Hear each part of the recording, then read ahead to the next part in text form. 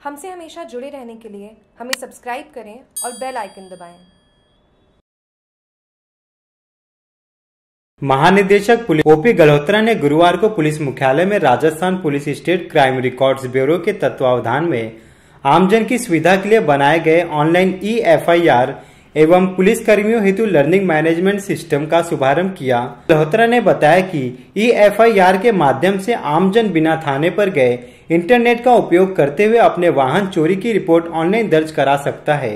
E FIR अभियुक्त अज्ञात हो और घटना के दौरान चोट या बल प्रयोग नहीं होने की स्थिति में दर्ज कराई जा सकती है। यदि चोरी की घटना जिसमें अभियुक्त ज्ञात हो अथवा घटना के दौरान चोट या बल प्रयोग किया गया हो तो इसकी शिकायत संबंधित पुलिस थाने में ही दर्ज करवाई जा सकेगी। यह सुविधा state crime records bureau Rajasthan Jaipur द्वारा तैयार की गई है। एस आर उप महानिरीक्षक पुलिस शरद कविराज ने बताया कि ई एफ़ आई पर गलत सूचना देने अथवा इस सुविधा के दुरुपयोग किए जाने की स्थिति में शिकायतकर्ता के विरुद्ध आईपीसी के तहत कानूनी कार्यवाही अमल में लाई जाएगी। पुलिस कर्मियों के लिए लर्निंग मैनेजमेंट सिस्टम का शुभारंभ। महानिदेशक पुलिस ओपी गल्होत्रा ने एलएमएस सॉफ्टवेयर का भी शुभारंभ किया।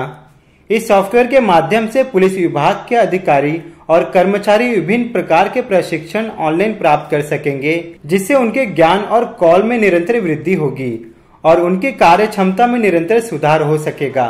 शरद कविराज ने बताया कि इस संबंध में प्रथम प्रशिक्षण का वीडियो सॉफ्टवेयर पर अपलोड कर दिया गया है। साथ ही लर्निंग मैनेजमेंट सिस्टम का प्रयोग करने की प्रणाली को सीखने के लिए वीडियो भी अपलोड कर दिया है। जयपुर से जागरूक टीवी की रिपोर्ट।